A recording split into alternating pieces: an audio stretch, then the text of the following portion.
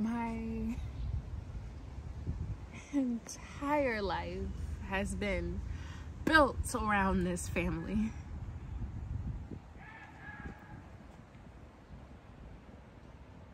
I always knew if, if nothing else that that I am my father's daughter.